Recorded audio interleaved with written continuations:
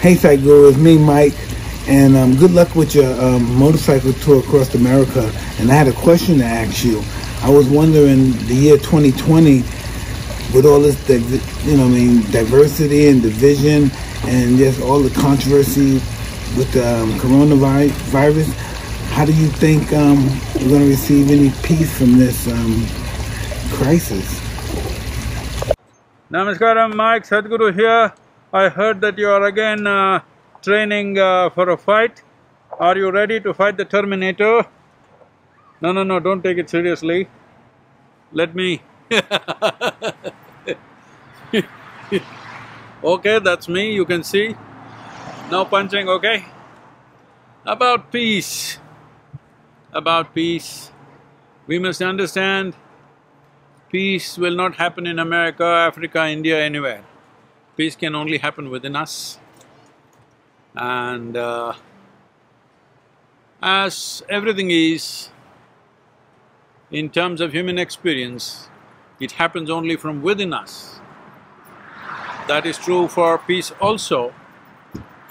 Well, one way of uh, putting this is, all human experience has a chemical basis to it.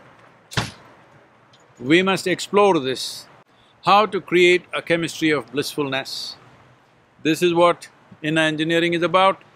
I'm sorry you… we were not able to teach you the practice. If you're willing, I'll ask one of the teachers to come and teach you the practice which will create a chemistry of peacefulness and blissfulness. This is the only way forward for humanity. If we are expecting outside situations will be all wonderful for us, no, any time they can turn around, as you see right now, but outside situation is not the real thing.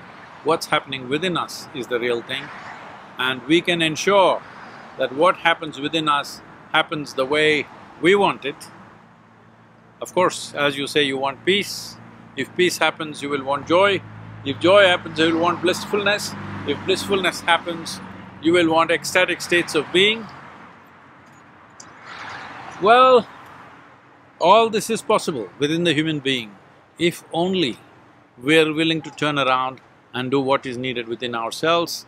It's my wish and my blessing, you must know peace and blissfulness, everything that's possible that we can do, we'll do it for you. The initial uh, invitation for fight, don't take that seriously with me, okay, please All the best for you, whatever you're training for, it's wonderful at this… this stage in your life, you're coming back at least for the fun of it, if not for competition part. It's really great that uh, you're in a shape to even attempt this, wonderful. You must ride with me, Mike. I'm uh, exploring spiritual America on my motorcycle, ride with me.